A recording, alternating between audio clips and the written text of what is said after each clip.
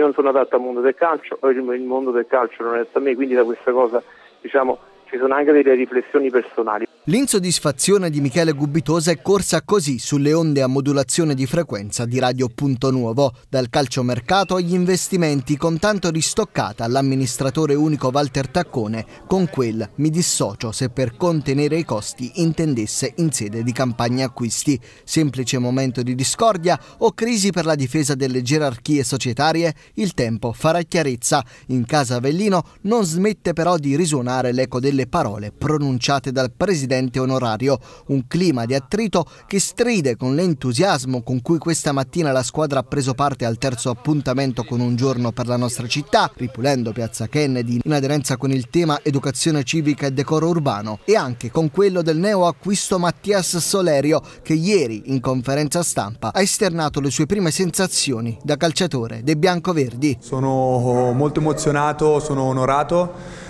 di far parte di questa squadra, di questa società, eh, con questa tifoseria meravigliosa e darò tutto per, per, questa squadra. Se lunedì al provinciale di Erice in posticipo contro il Trapani, l'ex Gianni Erminio sarà subito titolare, lo si scoprirà presto, magari lo si intuirà questo pomeriggio nel corso della seduta di allenamento a porte aperte al Partenio Lombardi, in attesa di ritrovarsi tutti sulla stessa lunghezza d'onda.